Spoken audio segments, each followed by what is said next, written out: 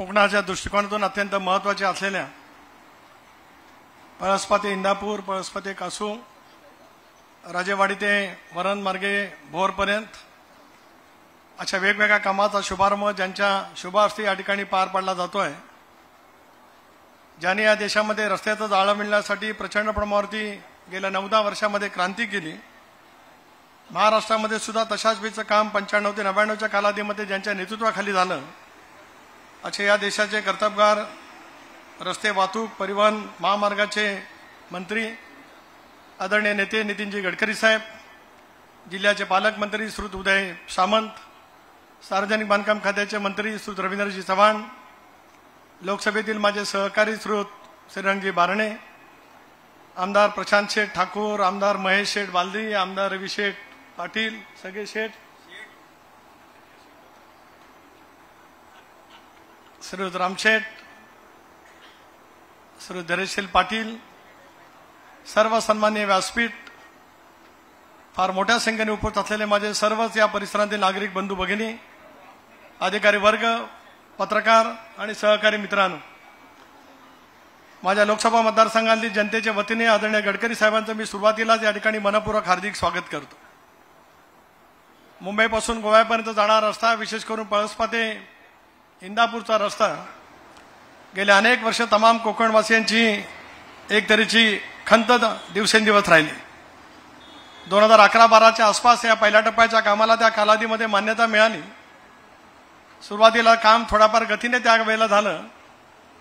मलाही त्यावेळेला जिल्ह्याचा पालकमंत्री या नात्याने या कामाच्या मध्ये विशेष करून वडखळचा बायपास असेल आरसेपकडे जाणारा रेल्वेचं उड्डाणपूल असेल वन खात्याची कर्नाळाच्या आसपासची असलेली काही परवानगी असेल या कामामध्ये सहकार्य करण्याची भूमिका त्या कालावधीमध्ये घेता आली.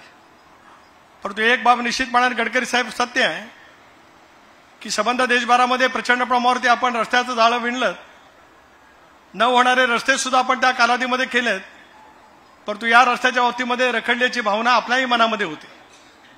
पुढचा टप्पा आपण दुसरा ज्या वेळेला नंतर सत्तेवरती आला त्याही वेळेला त्या कालावधीमध्ये झाला. परंतु पळसपाती इंदापूर या रस्त्याच्या अवतीमध्ये आम्हाला सर्वांनाच वेगवेगळी वेदना त्या ठिकाणी झाल्या. पत्रकारांचं सुद्धा आंदोलन मोठ्या प्रमाणावरती झालं. आणि एकेकाळी काही महिन्या काही वर्षापूर्वी आदरणीय पवार साहेबांच्या मार्फत पुण्याच्या विमानतळावरती आपल्याला आपली भेट घेतली. आपल्याला विनंती केली की कोकणामधलं पडणारं पर्जन्यमान मातीची भूपृष्ठाची असलेली एकंदर स्थिती डांबरीकरणाचे रस्ते त्या ठिकाणी होऊ शकत नाही टिकू शकत नाही. त्यामुळे कॉन्क्रिटीकरणाच्या कामाला जशी पुढच्या टप्प्यामध्ये मान्यता मिळेल तशी या कामाला सुद्धा मिळावी. हे काम अतिशय क्लिष्ट होतं. बँक आणि इतर काही अडचणीमध्ये सापडलं होतं न्यायालयाच्या प्रक्रियेमध्ये सापडलं होतं. परंतु त्याच्यातून रस्ता त्या ठिकाणी काढत साडेसातशे कोटी रुपयाचा निधी आपण त्याला दिला. आणि माझ्या विनंतीनुसार त्यावेळेचे पालकमंत्री आदितीच्या विनंतीनुसार आपण इंदापूरला येऊन इंदापूरच्या कासूच्या कामाचा शुभारंभ त्या कालावधीमध्ये केला. माझ्या अगोदरच्या सर्वच वक्त्यांनी या ठिकाणी सांगितलं.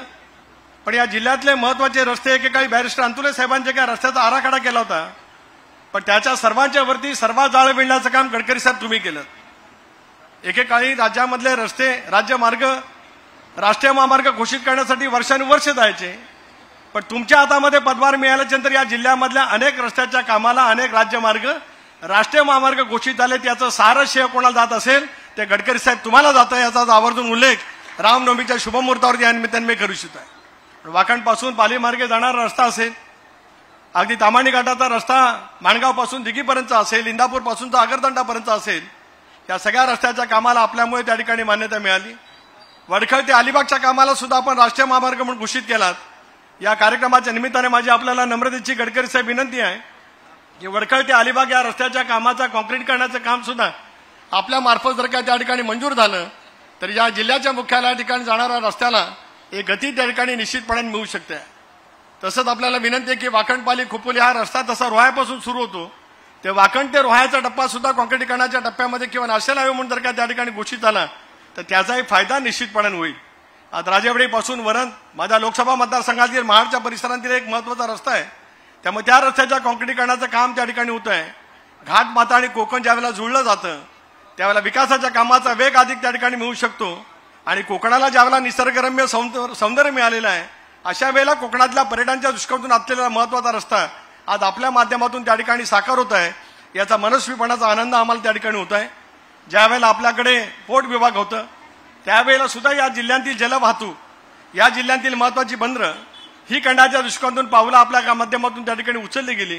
देशाच्या संसदेमध्ये ज्या ज्या वेळेला आपल्या खात्यावरती चर्चा होत असते इतर खात्यांच्या बाबतीमध्ये अनेक वेळेला वेगवेगळ्या पक्षाचे खासदार वेगळी भूमिका मांडू शकत असतात. देशातील असे एकमेव मंत्री आहेत की ज्यांच्या खात्याच्या बाबतीमध्ये सभागृहाच्या सर्व सभागृहाचं एकमत असतं. ते कर्तबगार नेते म्हणजे गडकरी साहेब आपण त्या ठिकाणी आहात. त्याचा सुद्धा आवर्जून उल्लेख या निमित्ताने मी करू इच्छित आहे.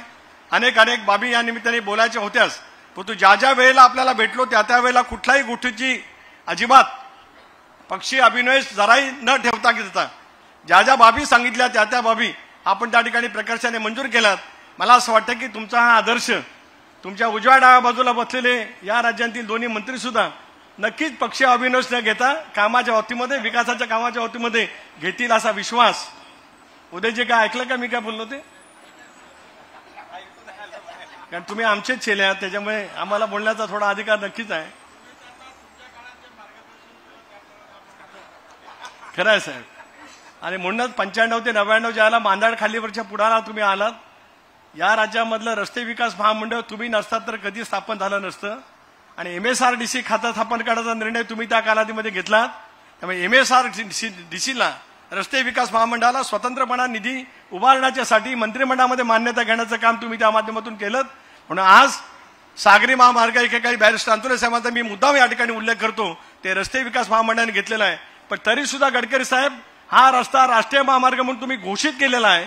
त्याला जर का तुम्ही नंबर दिलात तर राज्य सरकारचे पैसे त्याच्यातून वाचतील आणि कोकणाला जाणारा दुहेरी रस्ता आपल्या माध्यमातून त्या ठिकाणी घडल्याचं स्वप्न आम्हाला पाहायला मिळेल. पुन्हा एकदा माझ्या जिल्ह्यातील जनतेच्या वतीने अत्यंत मनापासून या ठिकाणी आपलं स्वागत करतो.